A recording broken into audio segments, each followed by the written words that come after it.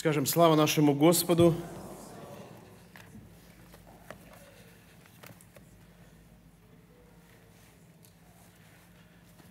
Я хотел бы для вас и для себя открыть книгу Руфь. Первая глава, и прочитаем первый стих. Книга Руфь, первая глава, первый стих. В те дни, когда управляли судьи, случился голод на земле, и пошел один человек из Вифлеема иудейского со, иудейского со своей женой и двумя сыновьями своими жить на полях Моавицких. И там идет история, рассказывается, как Елимелех со своей семьей, он уходит от голода из Вифлеема в землю в Моав. Моава. Он и два его сына умирают там. История нам знакома. Оставил после себя жену Наиминь со снохами мавитянками Руфью и Орфой. А Наимин решает одна вернуться на родину, и вот Орфа попрощалась с ней, а Руфь, Руфь идет э, со своей свекровью, она ее не оставляет. Наимин и Руфь приходят в Вифлеем в начале жатвы. И такая история. Э, книга Руф не очень большая, там несколько глав всего – но книга рассказывает историю исключительной верности и любви. Она повествует о величайшей верности и огромной любви. Это верность невестки к своей свекрови, а с другой стороны, это любовь богатого земледельца Вооза до бедной вдовы Руфи. И история происходит, как мы прочитали, когда судьи были, и жизнь э, судьи, во время судей, в эпоха, это время проходит, когда Израиль пребывал в состоянии упадка духовного. То есть, как бы анархия была. Делали, что хотели. Такое время тяжелое было для Израиля. Но книга Руф подчеркивает нечто противоположное. Когда мы читаем книгу Руф, там говорится о другой стороне. Несмотря на тяжелое время, были личности хорошие – хорошие, которые были верные Богу личности, вот, и которые в этот период Израиля соблюдали заповеди Господни. И здесь в книге Руфь о них описывается. Особое место в книге отводится, как раз вот занимает мавитянка Руфь. Язычница, она язычница, обращается к Богу, она вдова. Нелегко ей, ей очень нелегко на чужбине, да притом еще и вдове. Ей очень тяжело. Вот. Но Бог видит богобоязненно ее состояние, Руфи, ее поведение, ее сердце и помогает ей через людей. Мы вспоминаем дальше, можем читать, как Вооз оставляет колося, оставляет пропитание на целый день. Муж Руфи умер, мы слышали. Она вдова и пришла в Вифлеем. Давайте посмотрим, что дальше происходит. И в законе предусмотрено а, скажу так, что ключевое слово, или как бы центральное слово книги Руфи – это выкуп. Там история любви, да, верности, но самое главное, центральная мысль книга Руф – это искупление. Выкуп вот этой Руфи, ее выкупает ВОЗ. И вот закон, который был раньше в Израиле, предусмотрен брак с родственником для бездетных вдов.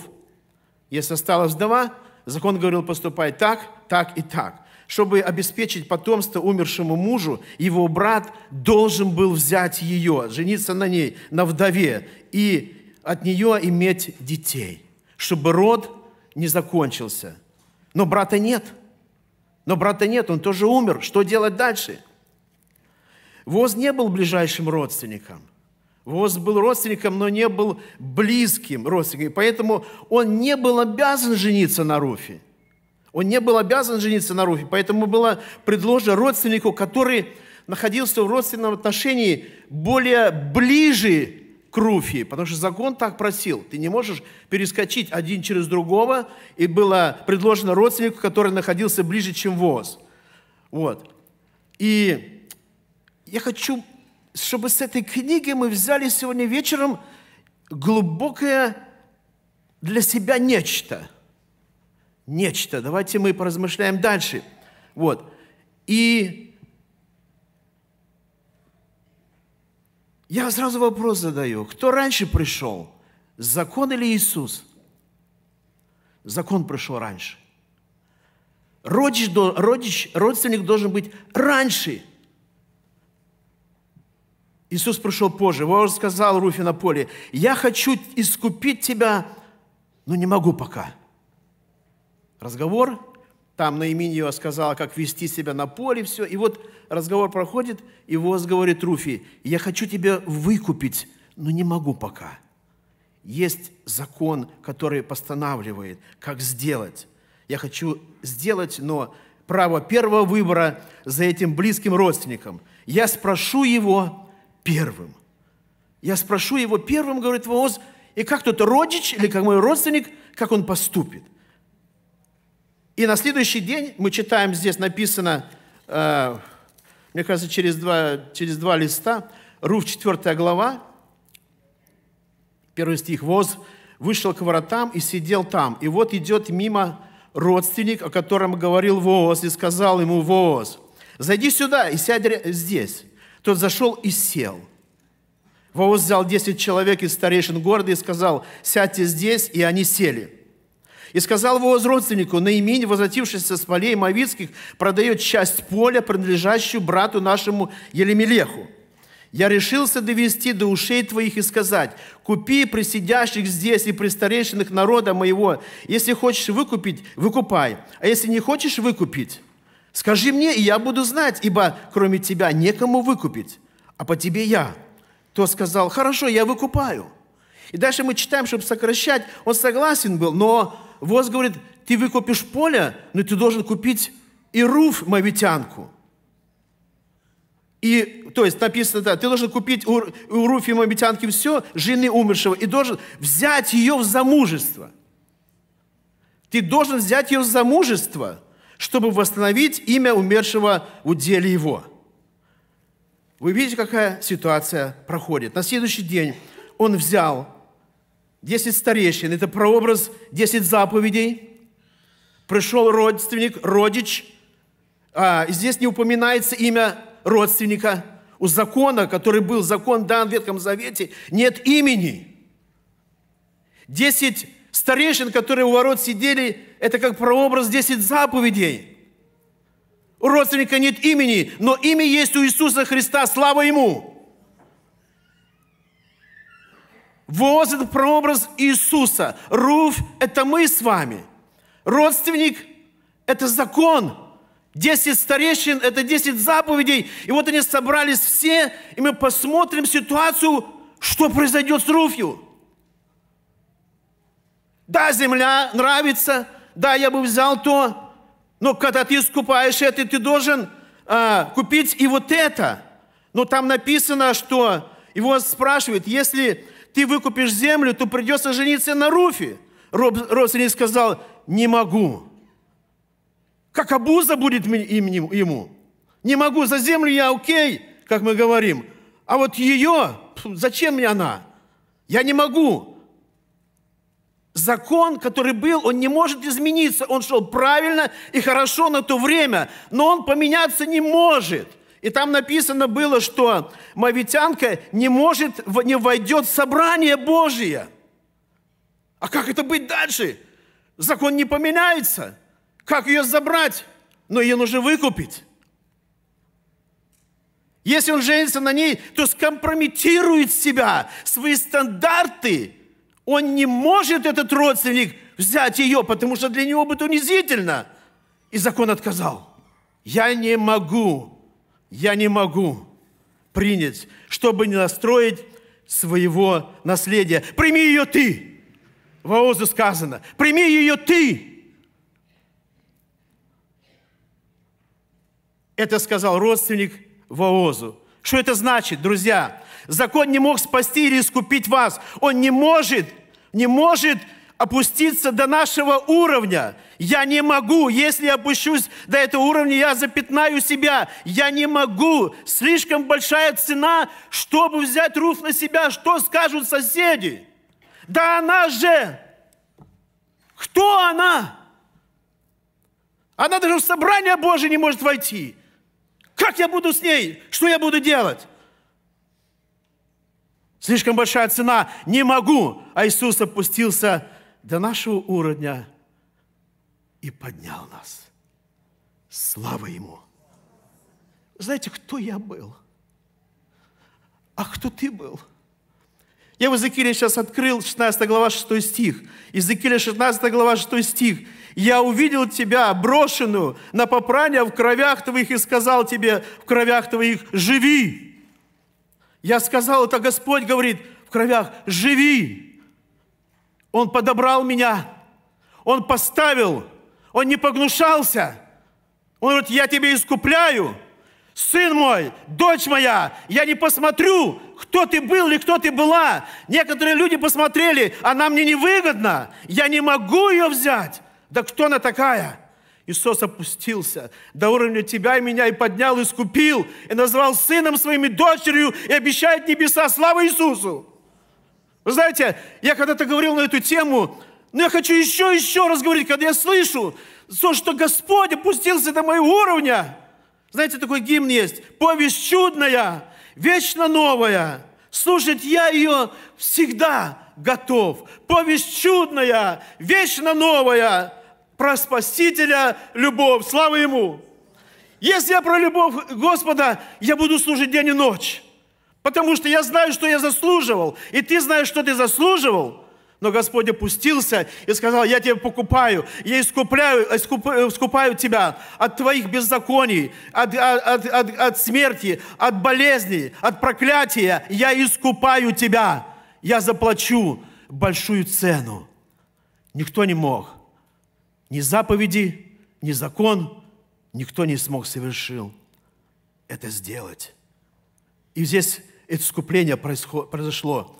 И в Израиле было при выкупе такой обычай. Один снимал сапог и давал другому, как бы говоря, я отказываюсь от своего права на искупление. Дальше мы там повествование это читаем. Воос говорит, дай мне свой сапог, дай мне родственнику. Ты отказался, я беру твой сапог. Когда родственник отдал обувь, тогда этот э, родственник потерял право на руф. Руф, как мы слышали, это мы с вами. Мы невеста Христа. Воз – это Иисус, родственник это закон. И сказал Воз, вы свидетели, вы все свидетели, которые собрались здесь. Я покупаю на имени все Елемелехова, и все Хелионова, и Махлонова.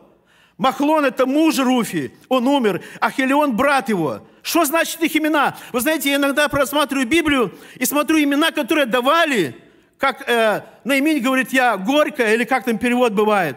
Например, э, э, скажу, Иуда, хвала Еговы означала. А здесь получается Махлон, это его имя Махлон, это болезнь. А Хелион – это смерть. И вот а, Махлон у нее был Руфи муж. И вы знаете, означало болезнь. Это была болезнь означал. И наш небесный Вооз, наш Иисус Христос говорит, в этот день я покупаю все, я выкупаю все, что Бог дал человеку. Все это было утрачено и потеряно. Здоровье, деньги и все, что ты благословение, и это я все выкупаю, даю тебе. Слава Богу. Я все это покупаю.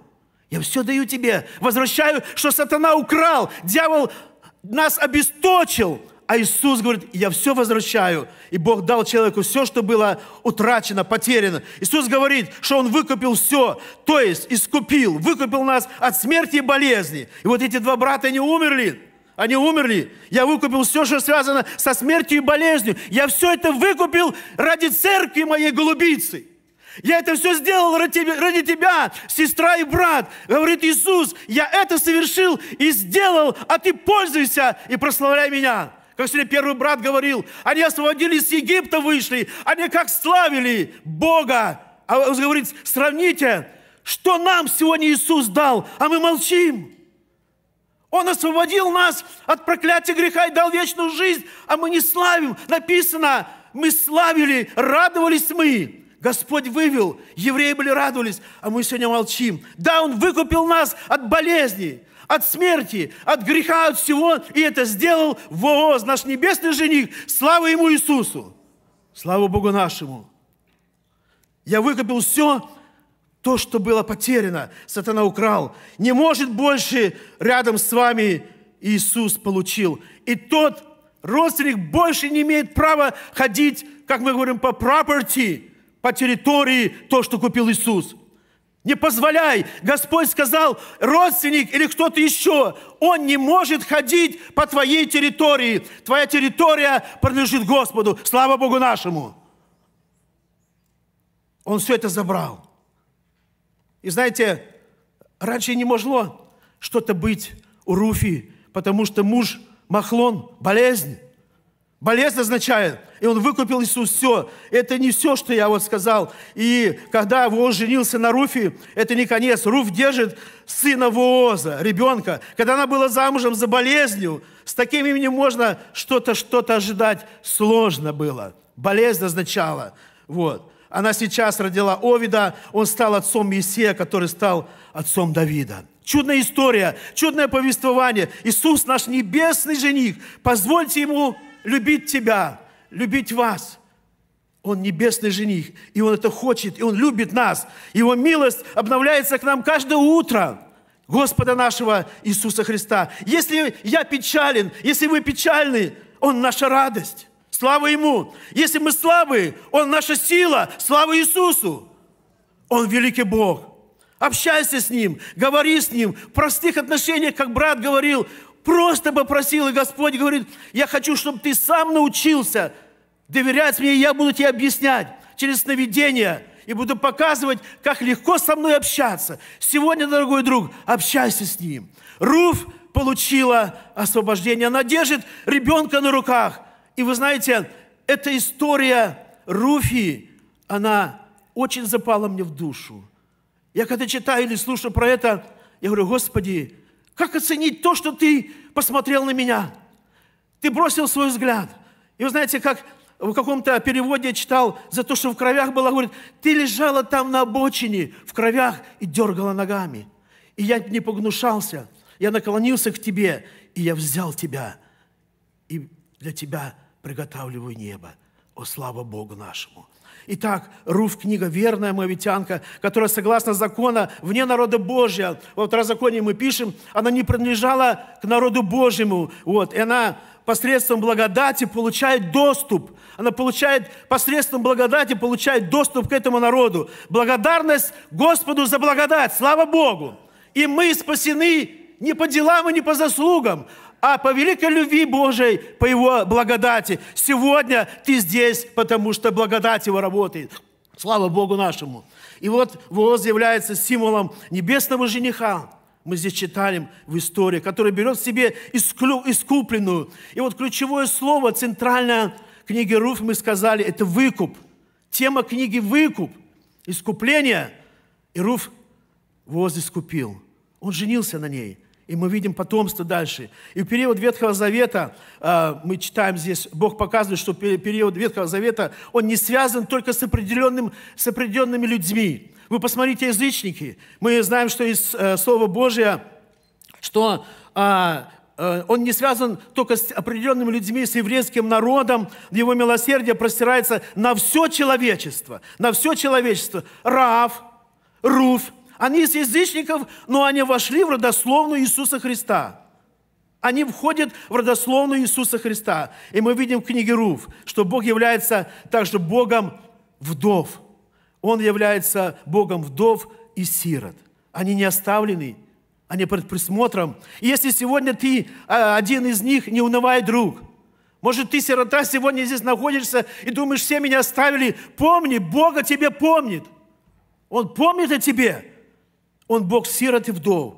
Книга Руф о верности и любви и об искуплении. Эта история произошла с Израилем, в израильском народе в период духовного упадка Израиля. Но там были личности духовные, как мы сказали, хорошие личности, такие как Вооз и Руф. Небесный жених Вооз берет к себе возлюбленную. Иисус, Иисус искупил нас, друзья. Закон не мог, ни заповеди не могли потому что они могли бы потерять свой авторитет, свои стандарты понизить, а Иисус не погнушался. Он подошел и искупил нас, и поднял. и готовить вечность. Скажем, слава Ему за это. И благодарность Господу, что вот эта книга Руфина оставлена на страницах Библии. И когда мы читаем, мы сопоставляем к себе. И я все время думаю, Господи, великое Ты совершил для меня. Великое Ты совершил, что не могли никто сделать, а Ты меня искупил. Слава Богу. Давайте мы преклоним колени. Поблагодарим Господа за чудное Слово Его, которое мы сегодня слушали. Братья говорили сегодня. Пусть будет прославлен Иисус, наш небесный жених, воос прообразно, как мы говорим, который совершил для нас искупление. Слава Богу. Аминь. Молимся.